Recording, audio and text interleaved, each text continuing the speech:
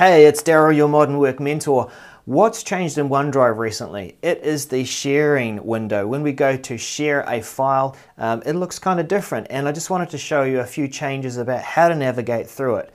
Um, firstly, it was a message in the message center. Shout out to Petri for their unofficial changelog, uh, so you can catch up with that message. It is um, ID MC560718. Uh, but what does this actually look like? Well, it's, it's interesting. It caught me by surprise.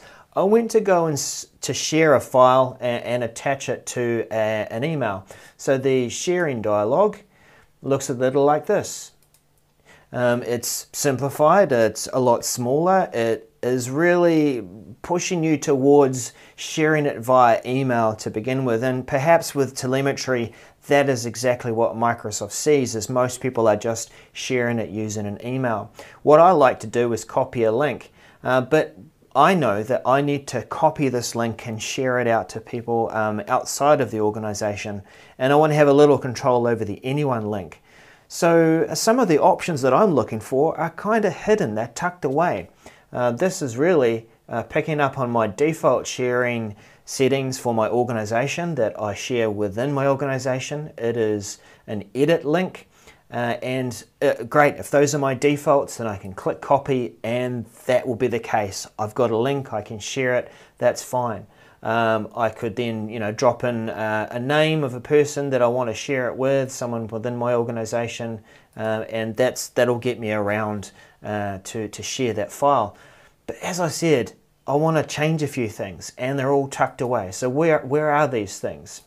Um, I want to create an anyone link and I want to be able to share it. And it's all under this sharing um, settings or the dialog, uh, rather the, the cog there, the settings cog.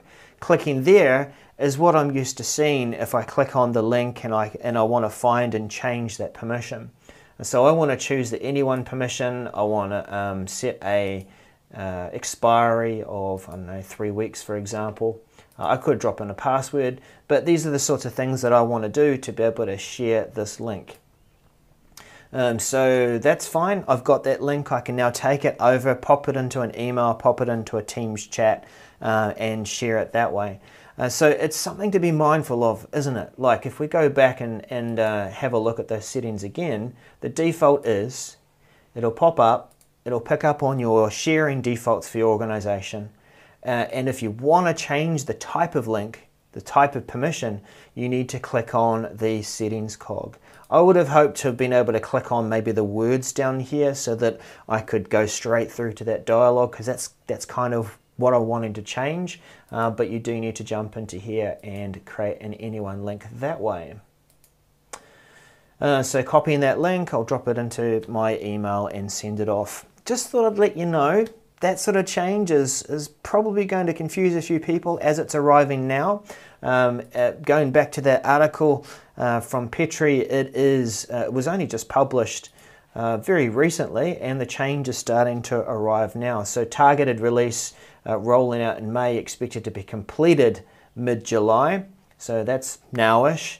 And standard release, uh, it'll be rolling out mid-July, completed late August let people know about this change uh, as uh, they need to prepare to share files from OneDrive.